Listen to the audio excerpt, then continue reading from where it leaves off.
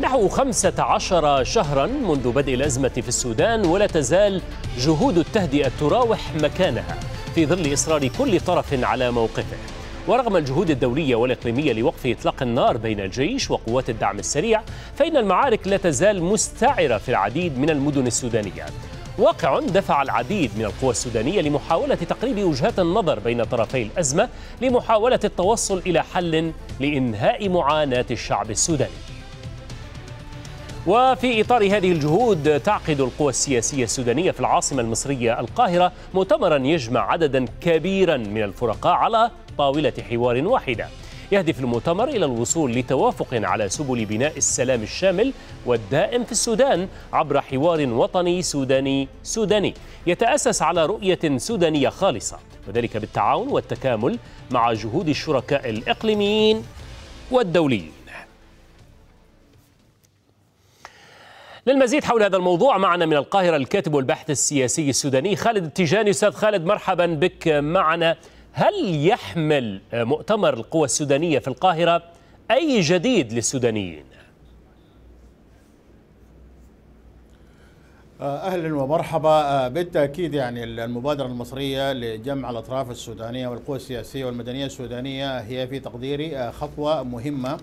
وهي ربما تكون الأول من نوعها. ليس فقط بعد الحرب ولكن حتى منذ سبتمبر 2021 عندما انقسم الحرية والتغيير يعني كان هناك صراع مستديم بين الكتلتين وبالتالي كانت هناك حتى قطيعة حتى على المستوى الاجتماعي.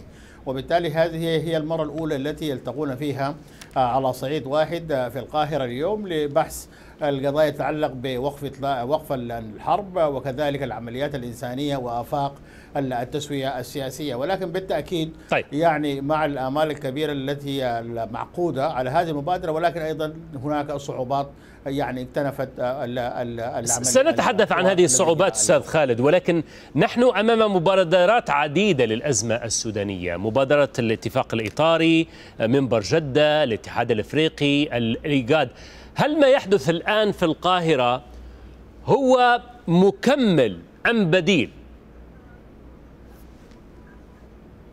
حسب الكلمات التي يعني قيلت اليوم في الجلسة الافتتاحية يعني نظر إلى هذا المسعى باعتباره مكمل للجهود المختلفة المبادرات المختلفة. صحيح أن هناك يعني تحفظات كثيرة من أن تعدد المبادرات هي واحد من الأسباب التي أدت إلى إطالة والوصول إلى التسويه وبالتالي كان هناك أيضا حاجة ضرورية لأنه حتى هذه المبادرات كانت تخاطب الأطراف المتقاتلة. ولكن فيما يتعلق بالقوى السياسية والمدنية حتى مؤتمر القاهرة اليوم لم يكن هناك جهود وبالتالي هذا الجهد هو جهد بالتأكيد مكمل وضروري بحيث أن يكون هناك أرضية سياسية تسهم في طيب. الدفع باتجاه إيقاف الحرب وكذلك البحث عن التسويه للأزمة السودانية. م. تحدثت عن الصعوبات أستاذ خالد قبل قليل وحتى الأنباء تتحدث على انه ممثلي الحكومة السودانية المتحالفة مع الجيش يرفضون عقد لقاء مباشر مع تنسيقية يعني تقدم التي يرأسها حمدوك. يعني ما حجم الصعوبات يعني التي ما زالت عالقة بين الطرفين طبعا في تاريخ التفاوض السوداني في العادة من الصعب أن يكون هناك جمع للأطراف المتصارعة سياسيا وبالتالي يلجأ عادة إلى نوع من الحوار غير المباشر بين الأطراف قبل أن يتهيأ الظروف على الأقل على المستوى النفسي قبل الانتقال إلى أن يكون هناك حوارا مباشرا وبالتالي كان الأمل في لقاء القاهرة اليوم أن يكون هناك حوار مباشر بين الأطراف القوى السياسية والمدنية عبر ثلاث مجموعات تناقش الاجنده التي تحدثت عنها مسبقا ولكن لتحفظ قوى الحرية والتغيير الكتله الديمقراطية في الجلوس مباشرة إلى مع تنسيق التقدم وبالتالي تم اللجوء إلى إجراء حوار غير مباشر بحيث يعني اجتمع كل طرف لحاله ورفع ما يعرف ب يعني مواقفه المطلوبه وبالتالي هناك لجنة سودانية ستحاول التوفيق بين الآراء المطروحة من كل طرف ثم أن يتم إيصال إلى إصدار بيان نهائي. وبالتالي ولكن هذا يعني طيب. مسألة صحيح يعني كان الأمر أن يكون هناك حوار مباشر ولكن تاريخ المفاوضات السودانيه شهد مثل هذا النوع من ولكن ما فائدة هذا الحوار غير المباشر؟ سيد خالد يعني ما فائدة هذا الحوار غير المباشر برأيك؟ وأين تكمن الخلافات؟ لأنه استمعنا إلى أنه تقدم يبدو أنها ترفض يعني الاتهامات التي تقول بأنها جناح سياسي لقوات الدعم السريع. يبدو أن هذا أحد أهم أسباب هذا الخلاف. آه بالتأكيد يعني الكتلة الديمقراطية تعتقد انه الانتهاكات الواسعة التي حدثت نتيجة لهذه الحرب هي تحمل قوى الحرية والتغيير أو تنسيقية التقدم بتحالفها مع الدعم السريع المسؤولية عن ذلك. وبالتالي هي ترى أن يعني جماهيرها أو قواعدها الاجتماعية لا تقبل بذلك وبالتالي هي ليست مهيئة الآن في هذا الظرف للتحاور المباشر. وبالتالي المسألة حقيقة لا تخلو من كثير جدا من التعقيد. الحرب بكل تعقيداتها يعني تظل يعني تلقي بظلالها على هذه المفاوضات. وبالتالي في تقدير الأهم من يعني كيف يمكن أن يتم الجلوس وكيف يمكن التوافق على ما يوصف بإعلام مبادئ يعني متفق عليها أساسية تساعد في حل حالة الأمور. ربما يأتي في وقت لاحق. يعني هذه بداية مهمة. لكن المهم هو هناك يجب أن تكون هناك خطوات آه، تالية لهذه. ولكن بالتأكيد في تقديرنا هذا تقدم كبير أن يتم مجرد هذا الاجتماع في هذا التوقيت بالذات مع كل هذه التعقيدات التي آه، رافقته. ولكن بالتأكيد هي خطوة مهمة آه، ستتلين الأمور فيما بعد في كما أعتقد أنها ستكون أكثر إمكانية لتقارب إذا تم التوافق فعلا على إعلان مبادئ يحدد خارطة الطريق للوصول إلى إنهاء الحرب والوصول إلى تسوية سياسية للازمه السودانية. دعني أتوقف معك أستاذ خالد لما جاء على لسان الدولة المضيفة للمؤتمر التي شددت وهي مصر على أن الحل الازمه السودانية يجب أن يكون سودانيا من دون أي تدخل لأي جهة أو طرف خارجي. وزير الخارجية المصري الجديد بدر عبد العاطي طالب كافة أطراف المجتمع الدولي بالوفاء بالتزاماتها التي تعهدت بها بهذا الاتجاه. إن أي حل سياسي حقيقي للأزمة في السودان لا بد وان يستند إلى رؤية سودانية خالصة. تنبع من السودانيين أنفسهم ودون إملاءات أو ضغوط من أي أطراف خارجية ايا كانت وبتسهيل من المؤسسات الدولية والإقليمية الفعالة. وعلى رأسها الاتحاد الإفريقي وجامعة الدول العربية والأمم المتحدة والدول الشقيقة والصديقة المهتمة بالشأن السوداني.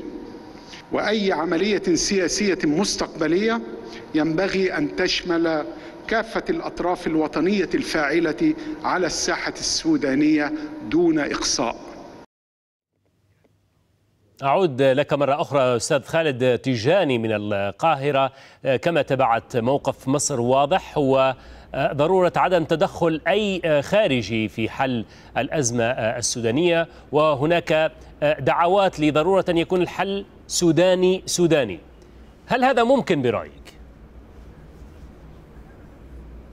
في تقديري إذا لم يكن الحل سوداني سوداني لن يكتب له الصمود. كانت هناك آه، تعسر المبادرات الخارجية التي يعني طرحت خلال الفترة الماضية بالذات من الاتحاد الأفريقي أو من منظمة إيجاد آه، اتهمت بأنها يعني تدخلت أو حاولت أن تفرض مسارا معين للحل. لم يقبل لم تقبل به الحكومة السودانية وبالتالي أو حتى عدد من القوى السياسية المساندة للجيش.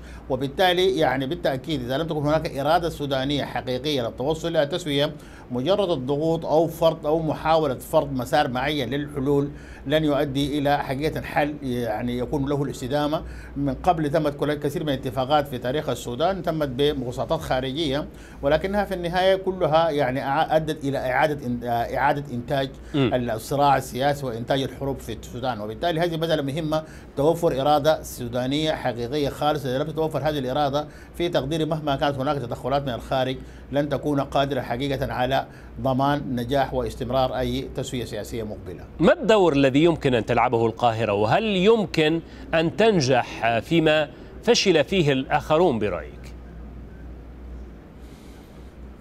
آه، في تقدير طبعا هذه ليست المحاولة الأولى لمصر مصر حتى قبل الحرب كانت تحاول أيضا أن تقوم بمثل هذا الدور ولكن في المرة السابقة أيضا كانت والحرية والتغيير المجلس المركزي رفضت الحضور إلى القاهره للمشاركه اعتبرت أن مصر هي يعني تقف إلى دعم إلى جانب الحكومة السودانية. هذا قبل الحرب وبالتالي الآن يعني ربما انقلب الأمر بعض الشيء. وبالتالي مصر حقيقة هي لديها تأثير مباشر بما يحدث في السودان على أمنها القومي ليست هي يعني مجرد يعني ضيف عابر في هذه القضية. وبالتالي لديها مصلحة حقيقية في أن يكون هناك استقرار في السودان. وبالتالي هي حريصة أن توفر الأجواء التي تساعد الأطراف السودانية من الوصول إلى أفق. يمكن أن تفضي إلى يعني اتفاقات قاد يعني عندها القدرة على الصمود والاستدامة. فبالتالي الدور المصري الآن أصبح به مرحب به من الجميع ينتظر الجميع من القاهرة أن تلعب دورا في تليين يعني هذه المواقف المتواعدة بين الأطراف. أعتقد أن اذا نجحت مصر في هذا الأمر على وجه التحديد. مصر نفسها هي تتحدث عن أن هذه أي تسوية نهائية يجب أن تسوي فيها المنظمات الإقليمية كما أشار السيد وزير الخارجية المصري الاتحاد الأفريقي الجامعة العربية الأمم المتحدة ولكن حتى يحدث هذا الدور الإقليمي يجب أن يكون هناك تليين للمواقف وتهيئة بحيث أن يكون واضح. هناك بيئة سياسية سودانية يعني قابلة على القبول بهذا الدور للأطراف الإقليمية. خالد تيجاني الكاتب والباحث السياسي السوداني كنت معنا من القاهرة، شكرا لك.